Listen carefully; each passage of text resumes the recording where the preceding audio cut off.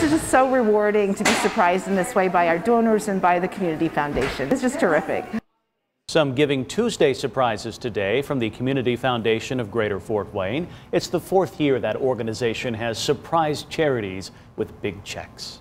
Oh, it's so much fun to surprise. It's the, this is one of our favorite days of the year.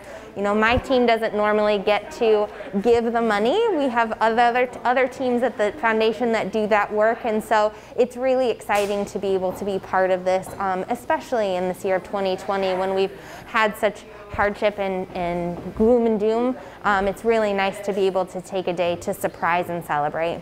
The checks, $5,000 each, were distributed earlier today to the Allen County Courthouse Preservation Trust, the Embassy Theater, the Questa Education Foundation, and the YMCA of Greater Fort Wayne. Amazing. What a great surprise. You know, the Community Foundation has been there for us over the years, and this is one more great gift, great opportunity for us to do some more good in the community.